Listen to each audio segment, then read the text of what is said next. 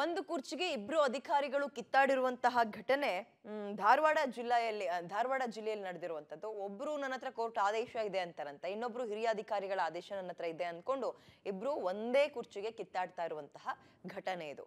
ಯಾವ ಪೋಸ್ಟ್ಗೆ ಮತ್ತು ಯಾರವರು? ನೋಡ್ತಾ ಹೋಗೋಣ. ಕುರ್ಚಿಗಾಗಿ ಅಧಿಕಾರಿಗಳ ಕಿತ್ತಾಟ. ಜಿಲ್ಲಾ ಪಂಚಾಯಿತಿ ಸಿಇಒ ಆದೇಶಕ್ಕೂ ಡೋಂಟ್ ಕೇರ್.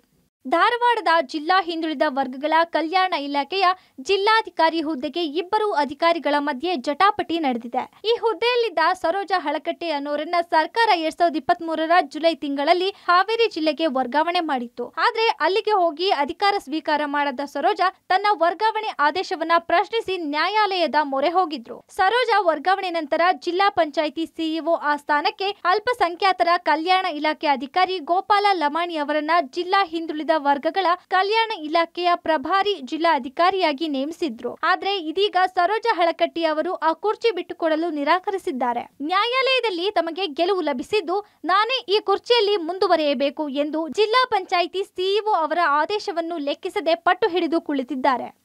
ಟ್ರಾನ್ಸ್ಫರ್ ಆದಮೇಲೆ ಏನು ಮಾಡಿದೆ ಇಮಿಡಿಯೇಟ್ ಆಗಿ ಕೆ ಟಿಗೆ ಹೋದೆ ನಾನು. ಸ್ಟೇ ಸಿಕ್ತು ನನಗೆ. ಅಲ್ಲಿಂದ ನಾನು ಕಂಟಿನ್ಯೂ ಆದೆ ಮತ್ತೆ ಇಲ್ಲಿ ಸ್ಟೇ ಮೇಲೆ.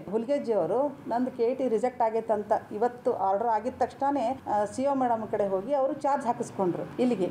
ಆಮೇಲೆ ನಾನು ಇಲ್ಲೇ ನಮ್ಮದು ಧಾರವಾಡ ಹೈಕೋರ್ಟ್ಗೆ ಹೋದೆ. ಹೈಕೋರ್ಟ್ ಒಳಗೆ ಮತ್ತೆ ನನಗೆ ಸ್ಟೇ ಸಿಕ್ತು ನನಗೆ. ಆ ಸ್ಟೇ ಸಿಕ್ಕ ಮೇಲೆ ಮತ್ತೆ ಆ್ಯಸ್ ಇಟ್ ಈಸ್ ನಾನು ಬಂದು ಇಲ್ಲಿ ಕೆಲಸ ಮಾಡ್ತಾ ಇದ್ದೆ ನಾನು.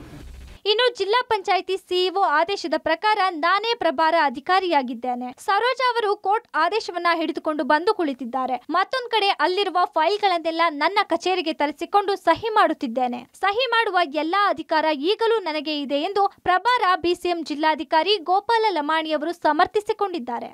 ಬಂದು ಕುಂತಿದ್ದಾರೆ. ಸುಪ್ರೀಂ ಕೋರ್ಟ್ ಏನೋ ಜಡ್ಜ್ಮೆಂಟ್ ಅಂತ ಹೇಳಿ ಬಂದು ಕುಂತಿದ್ದಾರೆ. ಯಾಕೆ ಕುಂತಿದ್ದಾರೆ ನಮಗೆ ಗೊತ್ತಿಲ್ಲ. ಯಾಕಂದ್ರೆ ಎಲ್ಲ ಆನ್ಲೈನ್ ಇರೋದ್ರಿಂದ ಆನ್ಲೈನಲ್ಲಿ ರಿಜಿಸ್ಟ್ರೇಷನ್ ನಂದಾಗಿದೆ. ಕೆ ಟು ಎಲ್ಲ ಇರುತ್ತೆ. ರಜೆ ಮ್ಯಾಗು ಸ್ಟಾರ್ಟಿಂಗು ರಜೆ ಮ್ಯಾಗೆ ಕೊಟ್ಟಿದ್ರು ಅದು ನನಗೆ ಗೊತ್ತಿಲ್ಲ. ಬಟ್ ನನ್ನ ಆರ್ಡ್ರಲ್ಲಿ ಅವರಿಗೆ ವರ್ಗಾವಣೆ ಪ್ರಯುಕ್ತ ಅಂತೇಳಿ ಆರ್ಡರ್ ಮಾಡಿ ನನಗೆ ಚಾರ್ಜ್ ಕೊಟ್ಟಿದ್ದಾರೆ. ನನ್ನ ಆರ್ಡ್ರಲ್ಲಿ ಅವರಿಗೆ ರಜೆ ಗಿಜೆ ಏನು ಮೆನ್ಷನ್ ಮಾಡಿಲ್ಲ. ವರ್ಗಾವಣೆ ಪ್ರಯುಕ್ತನೇ ನಮಗೆ ಅಡಿಷನಲ್ ಚಾರ್ಜ್ ಆಗಿ ಕೊಟ್ಟಿದ್ದಾರೆ. ಅವರಿಗೆ ಹಾವೇರಿ ಜಿಲ್ಲೆಗೆ ವರ್ಗಾವಣೆ ಆದ ಪ್ರಯುಕ್ತ ಅವ್ರನ್ನ ಬಿಡುಗಡೆ ಮಾಡಿದ್ವಿ.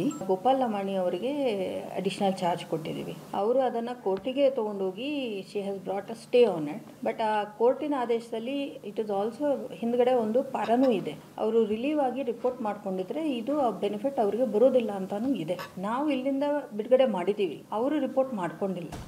ಇನ್ನು ಆರು ತಿಂಗಳ ಅವಧಿಯಲ್ಲಿ ಸರೋಜ ನಿವೃತ್ತಿಯಾಗಲಿದ್ದು, ಅವರು ಧಾರವಾಡದಿಂದಲೇ ನಿವೃತ್ತಿಯಾಗಬೇಕೆನ್ನುವ ಆಸೆ ಹೊಂದಿದ್ದಾರೆ. ಸದ್ಯ ಈ ಬಗ್ಗೆ ಸರ್ಕಾರದ ಗಮನಕ್ಕೆ ತಂದು ನಾನು ಮುಂದುವರಿಯುತ್ತೇನೆ ಅಂತಾರೆ. ಒಂದೇ ಕುರ್ಚಿಗಾಗಿ ಇಬ್ಬರು ಅಧಿಕಾರಿಗಳ ನಡುವೆ ಜಟಾಪಟಿ ನಡೆದಿದ್ದು, ಸರ್ಕಾರ ಇದನ್ನ ಯಾವ ರೀತಿ ಬಗೆಹರಿಸುತ್ತದೆಯೋ ಎಂದು ಕಾಲು ನೋಡಬೇಕಿದೆ. Javida Adhoni, public TV, Dharwad.